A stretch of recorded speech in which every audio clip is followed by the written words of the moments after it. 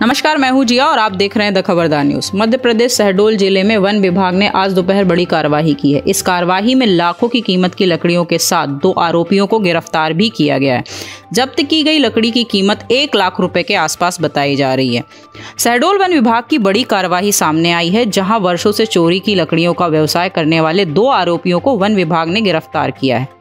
One विभाग ने बताया है कि बीजा साल सागौन की लकड़ी बरामद हुई है, जो लगभग चौरासी नग बताई जा रही है। इसके साथ ही पकड़ी गई लकड़ी की कीमत लगभग एक लाख रुपए बताई जा रही है। उपवन मंडलाधिकारी राहुल मिश्रा के नेतृत्व में एएसपी त्रिपाठी परिक्षेत्र अधिकारी के मार्गदर्शन में हुई इस कार्यवाही में जिन दो व्यक्तियों को गिरफ़्तार किया गया है, उसमें रज्जू कुशवाहा व उदय चंद्र सोनी सुहागपुर के रहने वाले हैं। ये दोनों बीते लंबे समय से कीमती लकड़ी का चोरी छिपे व्यापार करते थे, जिन्हें आज वन विभाग ने लाखों की लकड़ी के साथ पकड़ा है। आइए देखते हैं शहडोल से हमारे रिपोर्टर अविनाश शर्मा की यह रिपोर्ट। बने रहिए द खबरदार न्यूज़ के साथ, धन्यवाद।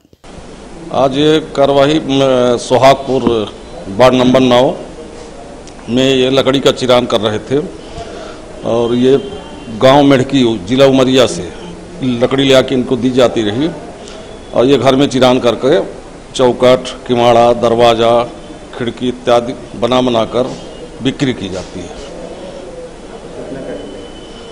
मेरे को मुखबिर तंत्र से कल सूचना मिली थी जिसमें मैं वन मंडलाधिकारी से सर्च वारंट जारी करवाकर उनके निर्देशन में अपनी टीम लेकर जब्ती कार्रवाई की।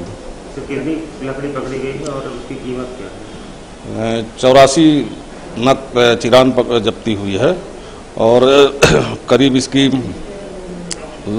कीमत लाखों में आकी जा सकती है।